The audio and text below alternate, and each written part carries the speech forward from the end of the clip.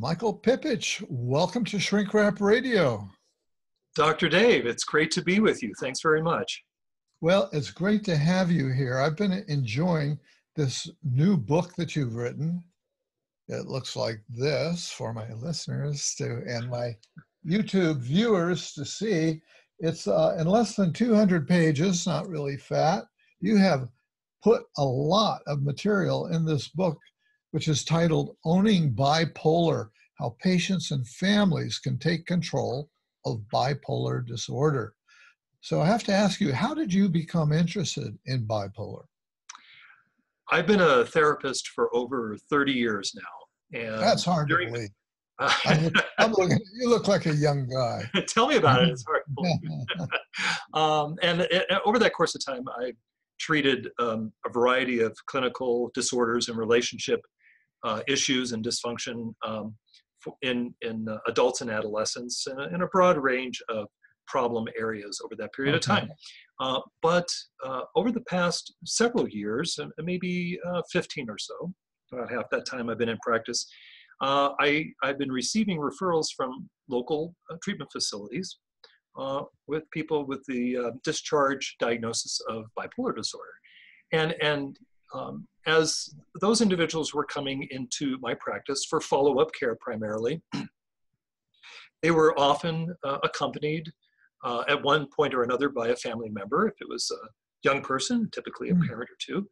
Um, certainly um, an adult might bring in a spouse or a caregiver um, to, to kind of share in that initial uh, contact, uh, receive information and education on what uh, needs to go uh, forward with, with respect to their bipolar care and so forth. So as that was kind of happening in my practice, nothing that I really particularly sought after, but kind of sought me after, if you will, uh, I realized that it was important to really understand what bipolar disorder is and what's required uh, at that level of care.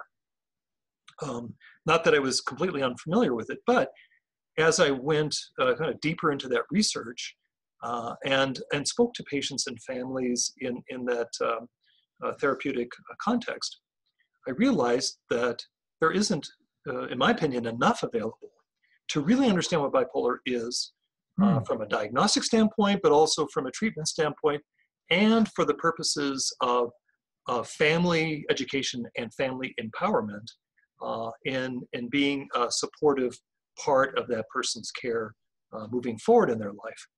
And, I'm uh, surprised uh, to hear that because we've known of bipolar, right, for a long time. And uh, there must be a ton of books out there.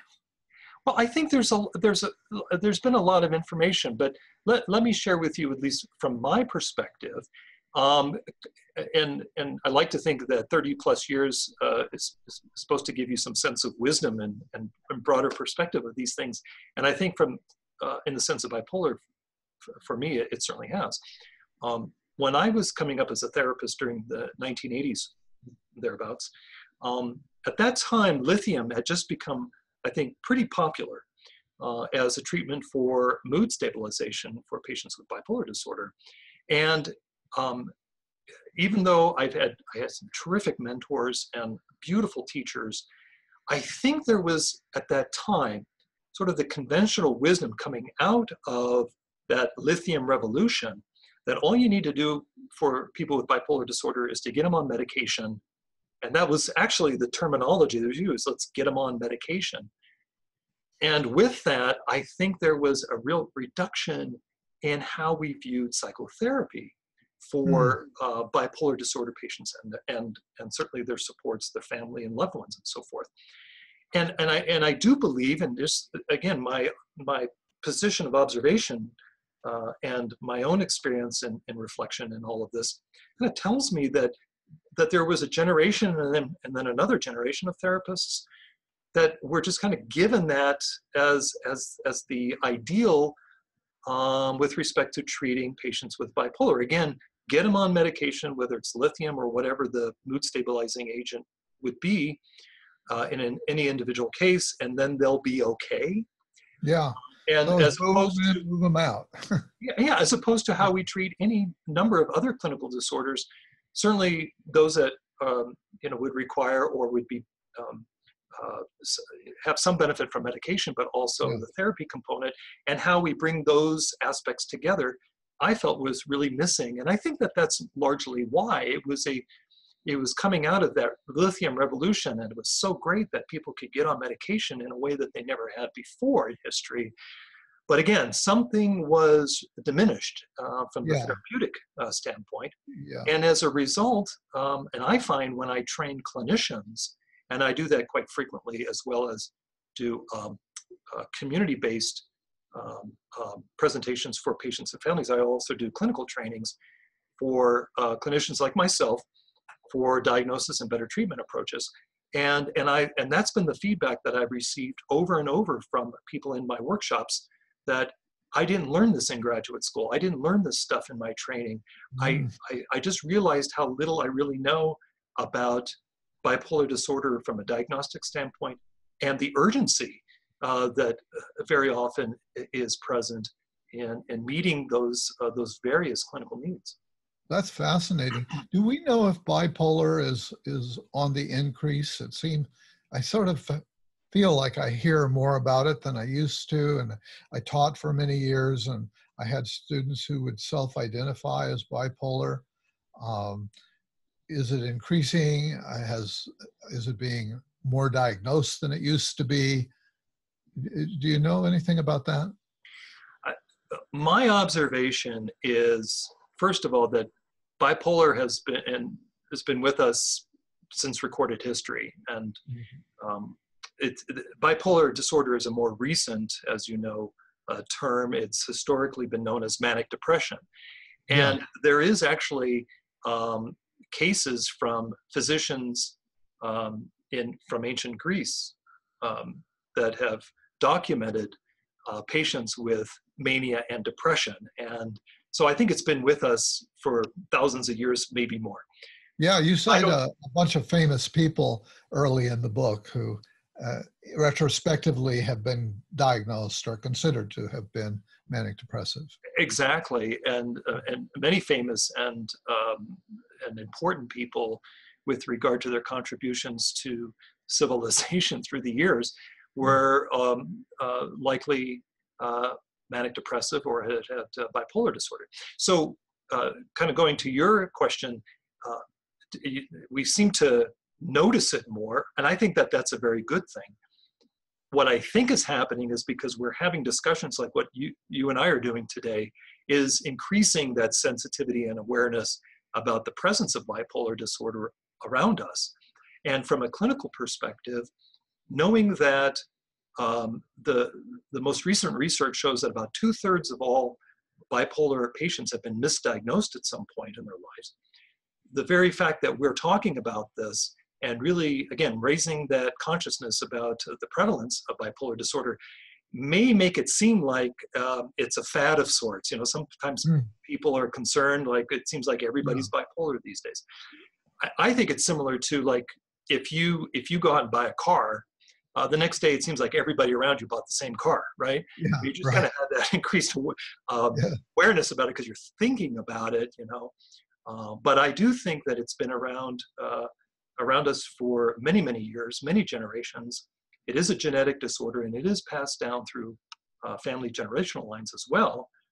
So I think we're we're elevating the conversation about the presence of bipolar disorder, and it may make it appear like it's it's an increase, but I do think it's an epidemic of sorts. But I think it's always has been. We just know more about bipolar itself, hopefully, Yeah, and we're more uh, cognizant of the various consequences, including the very high rate of suicide, along with substance abuse and all kinds of other things that co-occur uh, as a result of bipolar disorder. Okay, we'll get into some of that in, in more depth as we go along. The title of the book, the main title is Owning Bipolar, which seems curious. You're talking about cars, you know. Uh, I would love to own a Porsche, but I don't want to own bipolar or any other diagnosis. So, uh, how'd you come up with that title? What is it? What is it that you really want to get across with that? Well, a couple of things. First of all, that I think is important. Again, bipolar disorder is predominantly caused by genetic factors. Okay. And um, from there, uh, uh, we have uh, certain catalysts that can really stimulate the symptoms that we see behaviorally in, in any individual at some point in their life as a result of uh, hormonal changes in adolescence, or in the case of women with postpartum bipolar onset, certainly those changes internally, as well as life adjustment issues, can certainly bring out uh, the bipolar in the way that, again, we can recognize and diagnose. But its foundations is uh, are genetically based pre- predominantly. Okay. And, and I think that's the first uh, part of why I call this owning bipolar. It's, it's something that is nobody's fault. There's no, uh, you, you, don't have bipolar because you're a bad person or you did something wrong in your life. Mm-hmm. Um, if it's coded in your DNA, you came onto the planet with it. Um, mm-hmm. But even though it's nobody's fault and there's no reason to point fingers either at the self or at other people that have bipolar disorder, it's important to understand it at its root causes, what its effects are all about, and how to manage this disorder through good treatment and good support, which is based on knowledge and education. So it really is about taking responsibility for bipolar in one's life. And that's the first part of owning it. The other aspect is because there is unfortunately so much misdiagnosis and mistreatment uh, around bipolar disorder, I feel that patients and families, with the right knowledge, the right preparation and understanding, and knowing what to look for, and to some extent what to expect in treatment, they can be empowered as they go into treatment and as they go through those phases of treatment with their treatment team in a collaborative way not necessarily in the traditional way that we go to a doctor, we tell the doctor what's what we're feeling, and the doctor dispenses medications or other treatment, and we just kind of follow the program. We know that people with with bipolar disorder um, that that that very often is not effective. But with knowledge, empowerment, and a collaborative approach to treatment, which is again owning bipolar, um, people can have much much higher degrees of success in the stabilization process and in their lifelong process in, in terms of how they manage that uh, for their future. Yeah. So p- part of what I take from owning bipolar is uh, the message that, uh, hey, it's too bad, but you've got this and you've got it for a life. So you either come to terms with that and uh, in a kind of self-empowering way, or and I'm wondering, um, how big an issue stigma is around this particular diagnostic category. I mean, in general, we know that mental health for the general populace often carries a lot of stigma. Oh, yeah, absolutely. Uh, in general, as you say, and very specifically to bipolar, and, and perhaps as we know more about it, it not only helps to uh, um, reduce that stigma, but as as as we know historically when it comes to mental illnesses of all kinds and sort of the history of psychological disorders and how they've been looked at by society and at times treated by uh, professionals um, the the language kind of changes. It becomes more uh, casual if you will. So stigma can be i think perpetrated by any number of things, and sometimes even in, with the best of intentions. But to just call somebody bipolar because we don't like their behavior because they're changing something on the fly or whatever, or it just seems like a kind of an easy way to describe somebody's behavior that we don't like for one reason or another. Um, is is kind of one of the things that I think people who do have the disorder and do take it uh, from very seriously in their lives and, and take their treatment very seriously uh, feel like they're up against. Along with, I think, the more historical context of how uh, we as humanity have at times looked at people with certain mental illnesses as being pariahs in our society or scapegoats or subjected to uh, judgment or prejudgment uh, based on the fact that they're struggling with something that very likely is neurologically based very likely is not something that they chose to have in their life. Uh, and, and even though I think certainly my experience is that from a society standpoint, some things are much better as, uh, compared to what uh, you know I've witnessed again when I was starting my career. Uh, but I think we do have a long ways to go as a larger community in treating these psychological disorders uh, in the same way that we would treat any kind of medical problem. Right. Both from a from a from a professional standpoint, but also again within our communities, how we talk about these uh, these things and and what people need to do collaboratively to work together to make everybody's life healthier. And, and the conversations like these, again, I think go a long way to destigmatize. But certainly Yeah. people with bipolar disorder, um, particularly when you're starting to talk about medications, uh, that's a big one. A lot of people will find themselves feeling a sense of shame or fear around ma- taking medications. I have heard more than one time somebody in my office saying, I don't want to take medication because it means I'm crazy. Mhm. We really think about that statement, Yeah. that means I'm crazy. And it, it might even have a hint of irony in all of that. But I think what crazy means in that context is more about feeling shame about having to take a medication or having to sort of avail yourself to any kind of therapy or treatment that would, you know, help to, to, to make your life better. Yeah. Still very much live in that fear, which I, again, has a historical kind of context to it that, that Right. stigma. Yeah, yeah. The stigma really is a two-edged sword in a way of, in part, it's inflicted by others having a bad opinion or image of a condition, but also it gets internalized, and uh, you know, and we we inflict it upon ourselves, feeling like we have stigmata, if you will, that Mhm. other people can see and that other people will judge us.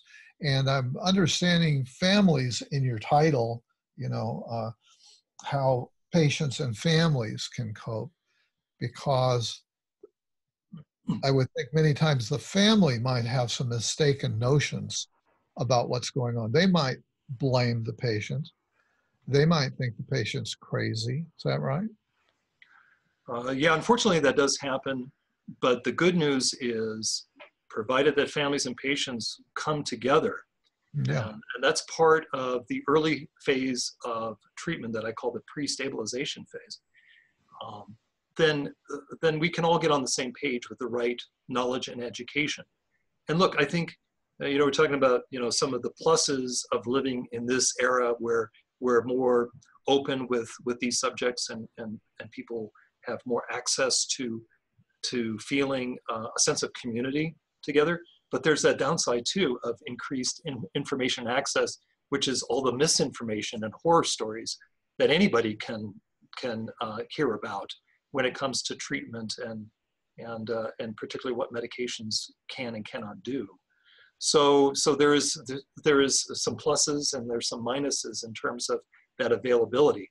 The important thing is that patients and families get the right information and the right uh, professional type of care Yeah. so that we so that we can begin to reduce those things. Now, there there there's going to be uh, biases of all kinds. Uh, uh, sometimes, again, based on legitimate fears and concerns about treatment, which we can talk about, but also um, the variety of misinformation and horror stories. Sometimes it comes out of real life. I mean, somebody will say, you know, uh, my friend's mother was on medication uh, for depression or whatever and had a really bad reaction. I don't want that happening. Well, that's understandable, of course. So we have to kind of work through those similarities and differences to, to really kind of nail down what is appropriate for that individual that we're talking about. But also there's cultural biases and, and historic family biases um, very often, to one degree or another, I think, about mental illness on the one side and what it is to pursue mental health. And these are very often contributive to that overall defense of denial. Yeah. Denial is very prominent in bipolar disorder, but is not limited to the individual with the bipolar disorder. It can be uh, prevalent in the family and in Uh-huh. kind of a larger extended family culture. Yeah, yeah. well. Yeah. So part of the value of this book, I mean, it's it's it sounds like the enterprise. Uh, a big part of the enterprise is psychoeducation, if you will, educating the patient, educating the family, And I think it'll be useful for you and others to say, hey, take a look at this book here, if you would, because it'll help you to understand your situation yes. and where we're going to go. And also, in this very charged political atmosphere that we have right now, I think I recall reading that uh, somebody, a guy who was running for Senate in some state, I don't remember which one, dropped out because it came to because he was concerned that people would discover that he had had psychotherapy in the past. Mm-hmm. I don't even remember if they said what the psychotherapy was for, but it really just underscores that we still haven't really graduated yet as a society in terms of our understanding of uh, the value of psychotherapy. Well, I don't have all the background on that one individual. I did hear about that story, but that is very unfortunate. Um, that's somebody that may have gotten my vote. Actually, I would I would prefer our politicians go through psychotherapy. yeah, right, right, exactly. Uh, we can blame them that we would really wish they would do that. Yeah, I think that's a qualifier, not a disqualifier at all. Yeah, yeah. But, um, yeah, but you're, you're right. I mean, that's an example of how we do have a ways to go. Yeah.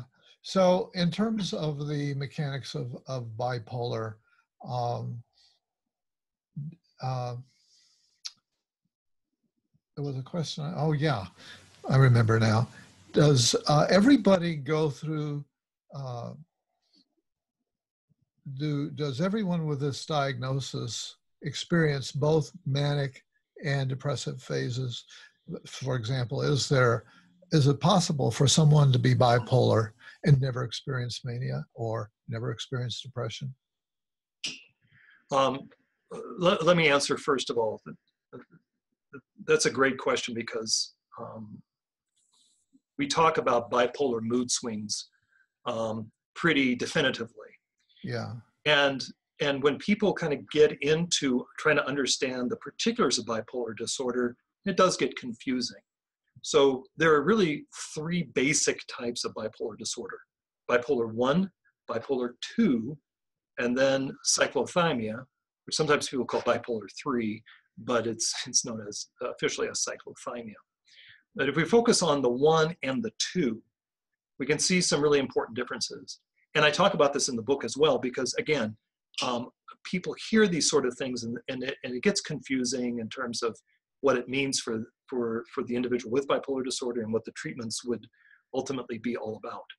Um, so in bipolar 1, in order to be diagnosed with bipolar 1, you only need uh, to qualify with one uh, uh, episode of mania in your lifetime. So the diagnosis of bipolar 1 does not require a history of depression, just one manic episode at any time uh-huh. in your life, uh-huh. even if it's not recent. It, it, it means that uh, you have bipolar 1 disorder, according to the DSM 5, the Diagnostic mm-hmm. and Statistical Manual, that, that psychiatrists and mental health professionals use to diagnose. Right. In bipolar 2, um, in order to have that diagnosis, one would need to have a history of at least one hypomanic episode, and we can talk a little bit about the difference there, and one uh, episode of major depression. So you do have to have major depression to have bipolar 2, but you don't have to have it for bipolar 1. Now, having said that, many people with bipolar 1 have had depression. But that's how we separate those disorders and separate how we think about it, and to some one extent or another, how treatment is laid down uh, differently in some cases between bipolar 1 and bipolar 2. Bipolar 1, the manic episode is tend, tends to be more severe. Uh, sometimes, not always, but sometimes it has certain psychotic um, features to it, including hallucinations and delusions. But when that only when that person in that episode, not when they're not in that episode. Bipolar 2, we talk about hypomania, which technically means under mania. So it's sort of a zone below mania. A lot of the same symptoms, uh, but they typically are shorter in duration, and because of that, they typically have uh, fewer consequences compared to that manic episode. And I think the idea is basically that there are people that can have periods of hypomania and function successfully provided they don't have a history of a major depressive episode at some point too. So it gives a little bit of flexibility in terms of hmm. perhaps you talk about about unique characteristics about that individual and and how people can become creative and productive and so forth.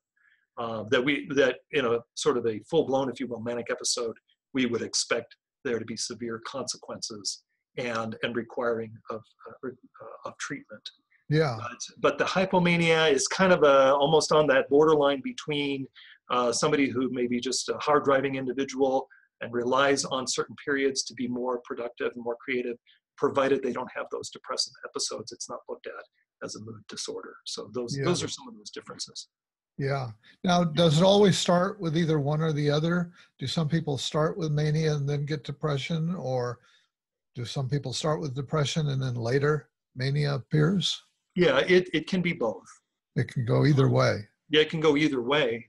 Yeah. Uh, what I have found, though, in terms of presentation, a person presenting to outpatient therapy who's never been in the hospital for a mood disorder necessarily, is that they tend to present either in that depressed state, in an episode of depression, or they more recently had an episode of depression that, that to me is more, the more typical outpatient presentation. Whereas people who um, wind up in a psychiatric facility may, uh, certainly they may be depressed and suicidal, but very often they present with mania or recent mania because that manic episode has perhaps created the kinds of consequences um, either personally where a family member got involved um, or or some sort of legal disturbance or whatever, where um, law enforcement um, um, uh, brought that person to, to the hospital or so forth. So it can go either way, but sometimes it appears differently. Um, one of the important things to, I think, keep in mind when the most recent episode, either current or, or within the past few weeks or months or whatever, has been depression, is that since bipolar is so frequently misdiagnosed, it's it's more often than not diagnosed as major depression alone. And one of the problems with that is that if there's an antidepressant medication given to somebody who has actually has bipolar disorder, it can induce a manic episode. So lots of times people come in hmm. and are diagnosed with major depression, which is not inappropriate given their most recent symptoms, either current or, like I said, maybe very recently in their lives. But without a further investigation to understand if they've had some sort of episode of mania or hypomania in their life. They may be given a medication that could actually make their bipolar worse and not better. And, and if, you're, if you're not aware of that um, right away, sometimes what happens, unfortunately, is clinicians, patients don't necessarily know better. Clinicians might say, well, they're getting more agitated, more irritable, maybe they need more of the medication or a different kind of antidepressant. And then that just makes the, the condition even worse. So it's always important to understand uh, if there's been any history of, of uh, mania or hypomania from the, from the clinical side, but it's also important for people to understand that. And um, in their own personal lives, but also within their family history, since it is genetic. If you've had a parent or a grandparent or somebody in your family tree that has had bipolar mood swings and you know that, that means that there is a fair likelihood you may have that gene. And it's important to bring that information um, in, in treatment uh, ahead of a clinician making a diagnosis and then prescribing medications. Is it more likely to travel through the male line? I don't. I don't necessarily know that. Okay. Uh, I, I, do know that the that the that the odds if you will, between uh, parent and child and grandparent, sort of that first generational line, parent to child, or second, grandparent to child. I'm not a, I know there are experts in this sort of things to really understand how this all works out statistically. But from what I do understand, the statistics are pretty solid. So if if you yourself have bipolar, but your um, um, spouse does not, for example, and and you have like three kids, there's like uh, this is very very basic, all right. but there's a chance that one of those three would have some form of bipolar disorder. If you and your spouse both have bipolar disorder, there's a chance that like two or three might have it. So, I mean, the statistics are pretty evenly divided. Or again, if there's a grandparent that has one, then it may be a little lower incidence, but but the statistics are pretty pretty consistent among all individuals that there is a, a fairly good chance that that kind of mood disorder will emerge in that person's life at some point. Okay.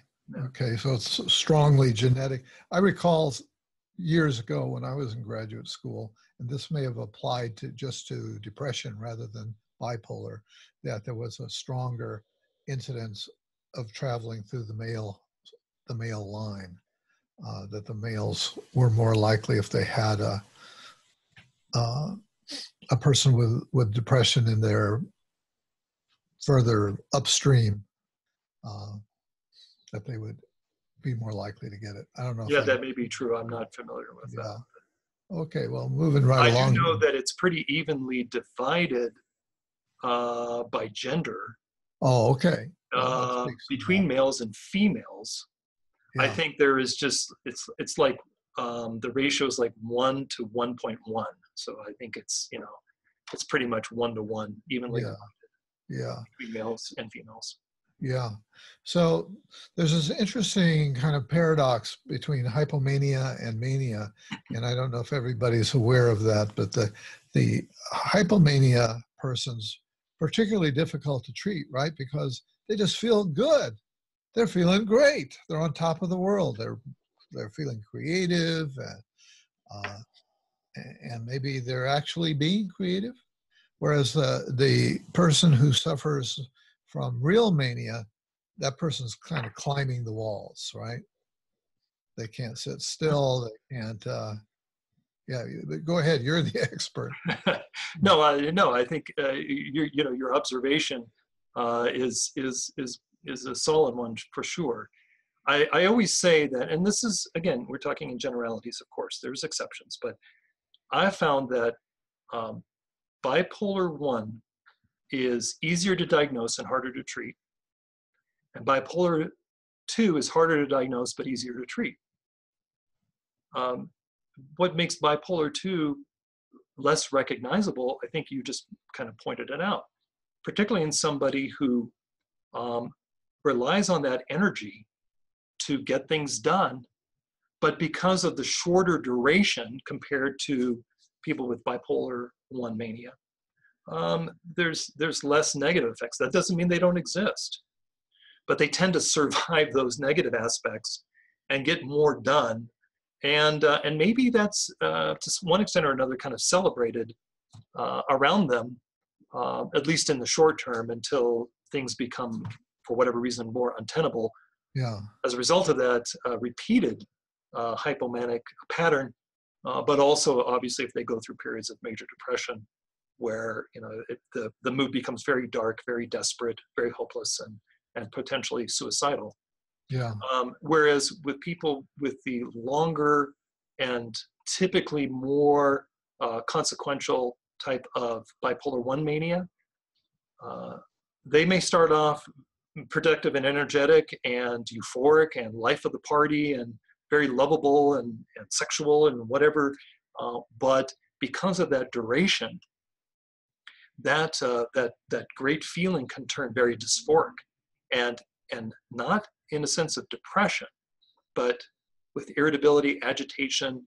Uh, they become frustrated with the fact the world around them is not participating in in their greatness and all their terrific ideas and everything that yeah. they want to try to yeah. share. You know, they they run up against uh, some opposition to that, of course, and so uh, they they feel then maybe uh, and, and of course, if there's paranoia, that makes it even worse, right? Because now they feel the world's against them and they don't understand, and and then they become, you know, perhaps uh, very irritable, very uh, very anxious, and maybe even in some cases very hostile uh, as well uh, during that period of time. So, uh, along with the functional consequences, for example, going on shopping sprees.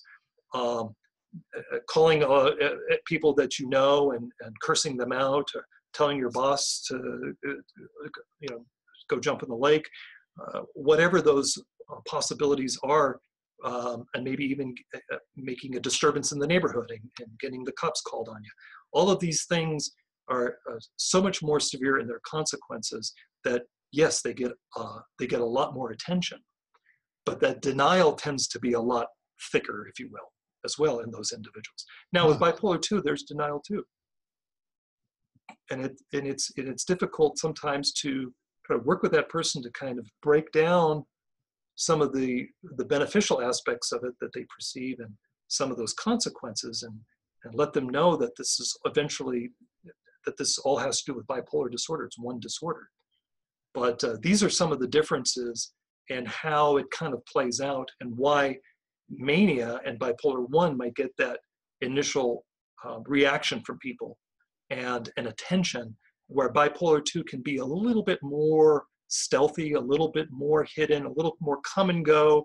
Uh, suddenly, that person isn't as as um, as manic, and they're sort of your friend now, and everybody gets along, and it's easier for the people around that person to kind of go, oh, he's okay now, or she's fine again. You know, she goes through those moods, and that's kind of her, and we just kind of learn to live with it, rather than stopping and kind of going, hey, wait a minute, there's there's something more going on than just moodiness but this this really is something distinct. Can a person learn to recognize the signs, the triggers, etc., and learn to kind of surf with it, to not get carried away, but to sort of harness the good part of that energy? Is that uh, pie in the sky, or is that possible? Well, I definitely think that many people try that um, even at the time where they gain some sense, some awareness that uh, they may have a bipolar disorder um, or something that's just not uh, typical or normal about themselves that probably should require some kind of attention and care. Uh, most people will try to live with it and sort of harness whatever they perceive to be those beneficial aspects of that disorder. Yeah. Um, and and even should they initiate treatment, that is one of the very common treatment issues that we have, even as we go through stabilization into post-stabilization, after medications are set. One of the, the, the very common issues at that time for people is, will I ever have that great feeling again? Will I ever be able to create again at the level that I used to? And what I think is important in therapy, and certainly what I pay attention to as a therapist in those situations, is to help people to understand that the creative process is not what their mania or hypomania was doing. It certainly was providing fuel in, in a big way. But you still have to have a well honed skill set for anything that you want to do and accomplish in life. You can't just become a musician because you think it's cool or because you feel so good about yourself. You've always wanted to write the great American novel but have no background in how to write anything creatively. It still requires that you have a skill set, that you have a creative process, and, and not mistake the intense energy and great feelings of mania as that creative process itself. So as people go through therapy, I think they really learn that, and, and there's some grief in terms of that losing that part of their identity mm-hmm. in favor of gaining a better sense of self-organization, of recognizing that creative process, and, and just as importantly, I think, knowing that they can be productive consistently rather than in these peaks and valleys that we call mania and depression, but a more consistent, more fluid approach to being productive and feeling uh, the, the sense of reward uh, coming from that. Yeah. Now, you, you've already alluded to some of the challenges of diagnosis. You say there's often a lot of misdiagnosis.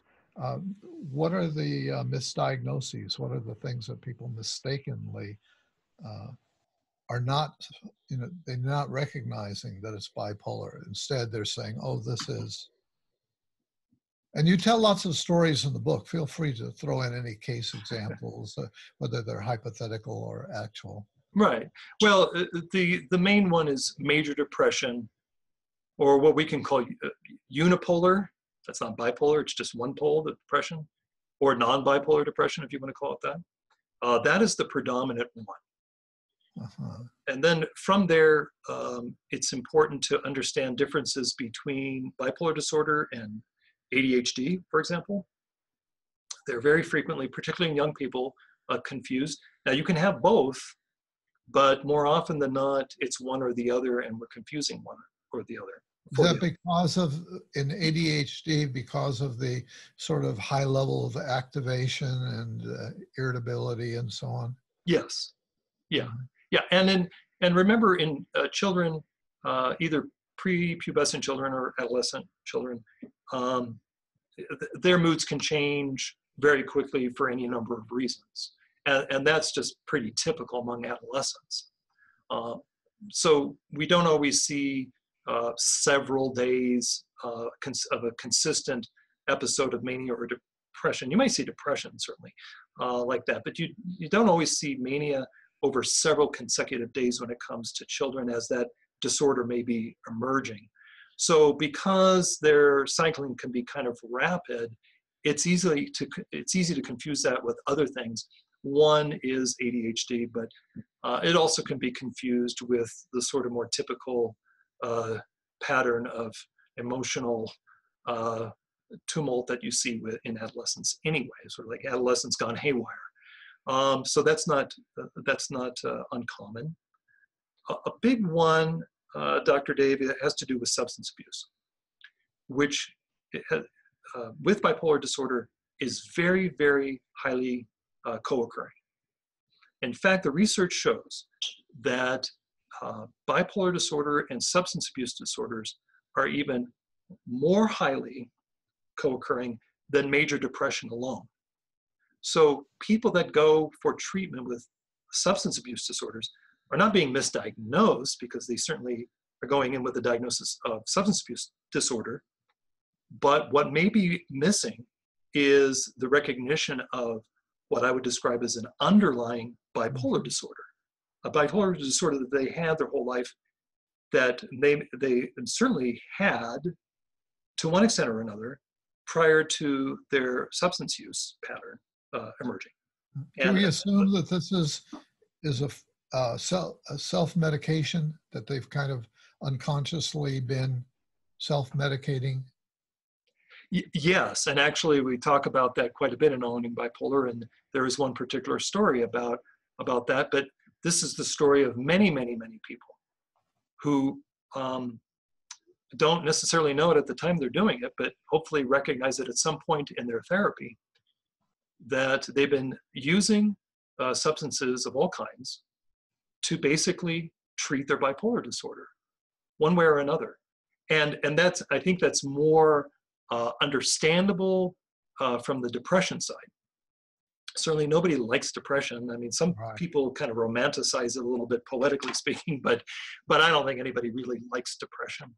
Um, and I think that uh, that uh, that may be true that that there's a, a real self-medicating kind of component to that. Uh, but also on the manic side, where sometimes people are basically uh, extending that sort of great feeling out beyond what the mania itself would do in a limited fashion, but also because uh, there's an increase in, impulsive, in impulsive behaviors associated with mania. People feel bulletproof, they feel like uh, life consequences don't apply to them, and that just uh, kind of gives them a more liberated feeling to, to experiment and use substances. But I think ultimately it's all about self-medication, particularly where alcohol and cannabis are, are concerned um, along with some of the any a number of drugs that people uh, find uh, to their liking. Yeah, for sure. Hmm. So, so again, uh, when it comes to um, treating substance use disorders, because there is such a high co-occurrence of bipolar disorder, I really encourage anybody that's working in the recovery field to recognize that and to understand bipolar disorder, uh, because if if we don't at some point uh, assess and treat for those mood swings, I think we put that person at a high risk for relapse uh, when, when they may very sincerely be trying to stay sober uh, for the long term. Mm-hmm. Do you think most therapists are well prepared to treat, to recognize and treat bipolar? I, I, I, think the statistics really challenge how prepared we are. I really do. Um, in addition to um, the, the research that shows that about two thirds, I think uh, the, the study that I particularly looked at recently said 69%, so I'd say roughly two thirds of, of people with bipolar are misdiagnosed. And as a result of misdiagnosed, mistreated. Um, we also know that the average number of health professionals consulted before uh, a bipolar diagnosis is provided is about four. And, and, we're, and we're not talking about consulted for other things. We're talking specifically about that psychological psychiatric presentation. So about four, an average of four. And, and, and here's another statistic that, that I always quote, and every time I say it, it just, it, it really gets to me. Um, that um, the average time for a person who has experienced their first bipolar mood episode and the time they actually receive treatment specific for bipolar disorder is 10 years. Wow. So that's a 10 year gap in treatment. And that's just the average. So you can think about outliers. And yeah. and when when when when bipolar 2 uh, subjects are taken out of that pool of bipolar in general, their average is about 15 years. Huh. And look at that in relation to what I just talked about in substance abuse disorders, the high um, uh, suicide rate uh, among people with bipolar disorder. You know that that people with bipolar disorder are at least 20 times uh, more at risk for suicide than the general population. So during this whole period of time, where this person is perhaps seeking care to one extent or another. And there's all of these missed opportunities, which may go 10 years and, and more. You know, it, since I published some uh, articles and, and the book and mentioned that 10 year gap in treatment, I've had a number of people come to me and say, you know, it took me exactly 10 years. So, wow. so I know that uh, that this that the research is is really on the mark there. Yeah. Um, what's going on in that person's life? for all yeah, those many years. Right, exactly. I was going to ask you that. what is going on? Lots of suffering, really, I think. Uh-huh. Um, mistreatment, and I don't mean mistreatment like abuse, but I mean they're they're not being treated properly for for the diagnosis that they really have. They may be treated for other things along the way, like substance abuse, like relationship problems, and so forth. Maybe the depression, but not the bipolar disorder in a way that can really stabilize mood uh, on an ongoing basis. And who else is suffering?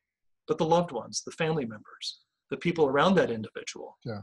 who can't understand what's going on, um, who um, either have to sort of manage or cope through denial in their own lives and not really see what, what's going on as their coping mechanism, or become hostile and angry at the individual who is not getting well and is still uh, fluctuating in their moods and in their behavior. I always tell people that bipolar can make a very good person do very bad things. Hmm. And again, that stretch of many, many years uh, before that person may be accurately diagnosed, if at all, if they're still alive and they still have that opportunity available to them. Um, yeah, there's a lot of suffering along that along that trail for sure. Wow. Wow. And I think one of the things that's so important about what we're trying to do, and, uh, and owning bipolar, I think, is a part of that, and the conversations that we're having, is to begin to close that 10 year gap of treatment. Mm-hmm. Again, not relying on the professional community by itself. Certainly, we as professionals can do a whole lot better, myself included. Um, but uh, that the community, patients and families, and the larger community, outside of that sort of small, tight knit group we call, you know, mental health professionals, can recognize and understand and be more supportive of people uh, getting the care that they need. Mm-hmm. I'm wondering about the psychotherapy side of the equation. Uh, you've come out pretty strongly for uh, appropriate medications as being maybe the the go-to, at least initially, the go-to solution or the beginning of the go-to solution. Right. What about the talk therapy part of it? What happens there? Um, so in my book, Owning Bipolar, and in the clinical trainings that I provide, uh, I talk about a three-phase approach to bipolar therapy. Okay. And those phases are centered around the medical uh, stabilization of, bipolar mood swings. Um, the first phase is that pre-stabilization phase. That's before medications are really uh, not only presented but effective. And there is there's a period of time to make that happen, and it's different case by case. Um, but the pre-stabilization phase is, and I think we've talked about it already, is marked by denial. Um, uh, that's I think really the main feature. It's marked by the consequences of, of untreated bipolar disorder, uh, whether it's financial problems, health problems, relationship issues. All of these things are, are part of the bipolar crisis. And so bipolar is affecting. They, kind of need to own up to it, using your word owning again. They kind of need to own up to, I've got this problem in my life. Right, and that and that and that that happens uh, in in different at different levels through the process. Sure. But indeed, that's where the education and assessment part comes, and the and the conversation begins by separating the the the perceived beneficial aspects with with ones that uh, are, um, I guess, harder to deny that have that negative impact in that person's life. So we're we're we're less focused on telling people you have bipolar disorder because what does that mean to them anyway? But we can say, yeah, there are moments when you have experiences that are very exciting, very uh, thrilling. Uh, you're experiencing a high, but there's there's another side to that. Let's talk about that other side, and let's talk about the symptoms that and the parts of what you're going through that you don't like, and and enter that conversation and help people to identify what their fears and concerns are uh, about all of those things together and really begin to have a conversation about that, uh, an assessment process uh, that really nails down a bipolar disorder diagnosis, if indeed that that's what's going on, and then begin a medication conversation. And as it gets closer, I think, to answering your question, um, you know, we as therapists, I think too often try to scuttle that part of the discussion to the physician because maybe we don't feel qualified to talk about that. Um, I think all therapists, uh, certainly those that are going to assess and treat people that have bipolar or any other kind of mood disorder or anxiety disorder, OCD, etc., that would benefit from medication, to have at least some understanding and some knowledge about what those medications are. Because we as therapists talk about it more very often than even the doctors do, by virtue of the fact that they tend to have more contact with us. And, and I think doctors appreciate that more and more anyway. It's not a turf thing like it maybe it used to be. Mm-hmm. Uh, I think doctors and therapists uh, collaborate more in, in this generation, and, and that's great to see. So we're going to enter a conversation about medication and help to, as we talked about a little bit earlier, allay some of the fears, uh, get the facts out, what to expect, and, and, and not to create a rosy picture either. Uh, uh, moving from pre-stabilization to stabilization, the next and second phase, um, can be really rough for people. Sometimes the medication process goes very well. Yay, we all are excited about that. But we have to expect that there's going to be uh, some experimentation, some trial, and uh, it may take more than one medication. It may take uh, two or three, at least in the beginning, to really address the symptoms based on their severity and so forth. And during that time, we're also helping family members, in a sense, to stabilize, not medically, but but psychologically because of everything that they've been through with bipolar disorder. We can't leave the family members out. So often, people uh, around the bipolar person, the person with bipolar disorder, will say that they feel like, okay, my loved one is getting treatment and getting help, but what about me? What about what I've gone through? Mm, and it's yeah. not just like, hey, uh, you, uh, you know, she's on medication now, so you should be fine, and we're all going to be fine. Well, we know that psychological pain and the trauma that we went through doesn't just go away. It needs to be understood and addressed in that context as well. And ultimately, it helps everybody going forward. And as and as so as the individual stabilizes, the family support system does as well. We move into the third phase, which is hopefully very long, and that's the post-stabilization phase. And that's where we move from treating symptoms in the beginning by breaking them down to lacing them together and what we call bipolar disorder, but then treating the whole person, not just the bipolar disorder, but all of their personal self esteem, identity issues, family dysfunctional uh, issues that may have either been created by bipolar disorder or by other uh, factors and and and help that person and the support system around that person to have a communication together that's more effective.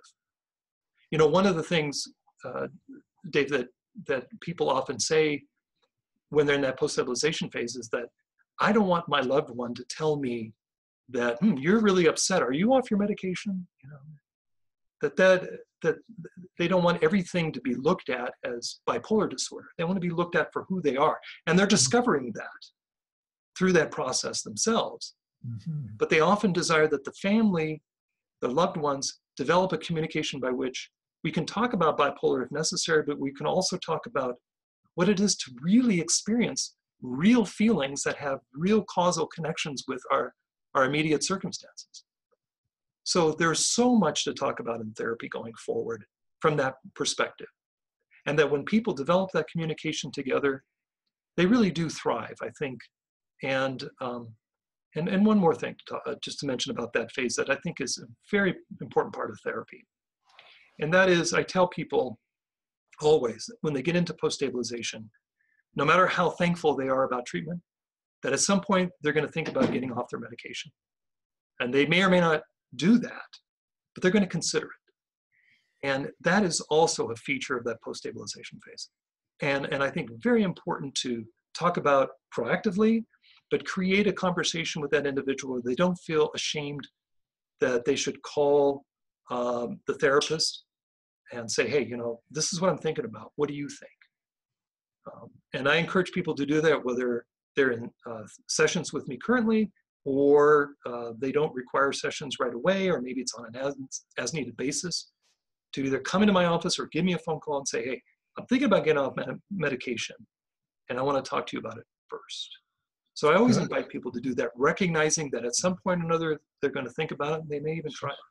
Sure. To prevent them from having that crisis all over again. Yeah. Yeah, I was wondering about the length of treatment because since they're going to have this condition their whole life, presumably they're not going to be in active therapy their whole life, most people. Uh, so, is there sort of a typical length of time that uh, you see clients who are bipolar? Um, I think certainly for as they go through stabilization, that's a very intense time and a very uh, important time to stay connected with therapy. Now, the frequency may vary from person to person depending on their individual circumstances, but it has to be very present. And the issues are very contemporary. So um, uh, that's not something that, okay, you're going to go see the doctor for medication, come back and see me in two months. I would never say that as a therapist.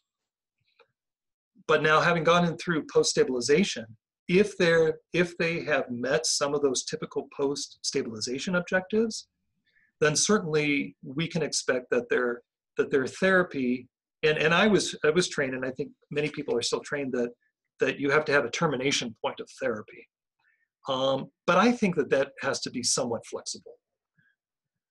Certainly, they, an individual may come to the point where they feel like they've achieved as much benefit from therapy as they can in their present life. And, and if that's agreed upon with the therapist and, and doctor as a part of that treatment team, then by all means. One of the things that I think is most important as a therapist in all circumstances when somebody comes to that point and we agree upon that together is that just because therapy ending is ending doesn't mean that the need for therapy won't come up at some point in that person's life. And to know that they are welcome to call me or any other therapist that they might want to um, um, um, reach out to is what's really ultimately important.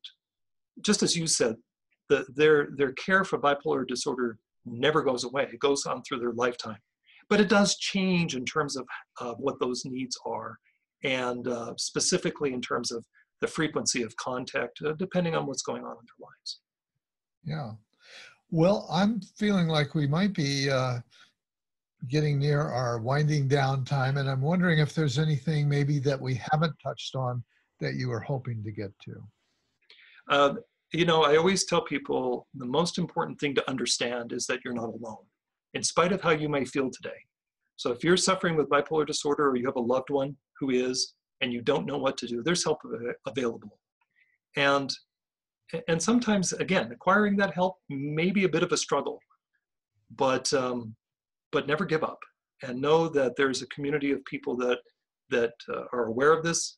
One of the things that I, I did years, years ago and very proud of is uh, I started what's called the Bipolar Network, and there's bipolarnetwork.com and Bipolar Network uh, Facebook page, which has ongoing information, but also, and I think more importantly, stories from people who have gone through uh, the bipolar experience and what that's like. And it's important to share those stories. And the book also, as you mentioned, has stories in it uh, taken from uh, the Bipolar Network and, and other uh, experiences that people have shared with me. Uh, just to remind us that in spite of how we feel uh, in our most des- desperate moments, you're, you're not alone. And, and it's important to reach out and keep reaching out, even if there's some disruption of that along the way uh, because care is possible. Bipolar disorder is a very manageable illness. Um, and it is that ultimately if you don't get treated. But once you're treated, you can have uh, mental health and enjoy uh, the benefits of that through your lifetime. So be sure to always keep that in mind. Okay, that's a great closing message. Uh, Michael Pipich, I really want to thank you for being my guest today on Shrink Rap Radio. Thank you, Dr. Dave. It's a pleasure.